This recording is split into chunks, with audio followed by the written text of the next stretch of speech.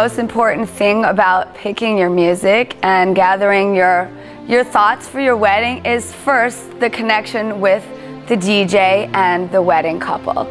Planning the music ahead, planning the music so you know exactly what's going to go on.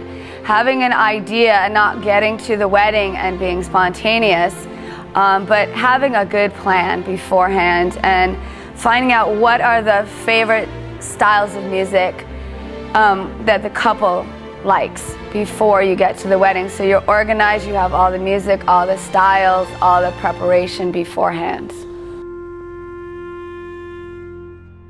First off, this is going to be an amazing, fun, exciting experience. Now, how are we going to achieve that? We are going to, first of all, ask them what styles of music they like, what, what their kind of goals are for their wedding, what um, what is their kind of personality that they, they are together as a couple? And obviously you have a lot of different people. You have their family and their parents and and that kind of thing. So everybody wants something different and everyone's getting sources from the outside.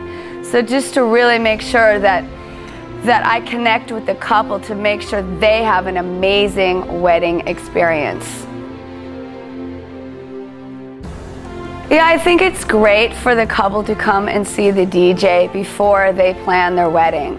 To know what style the DJ is. So there's different types of DJ people that um, a little bit more just play the music.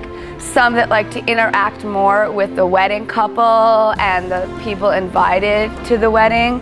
So there's a lot of different styles. So it's really important to get that understanding before.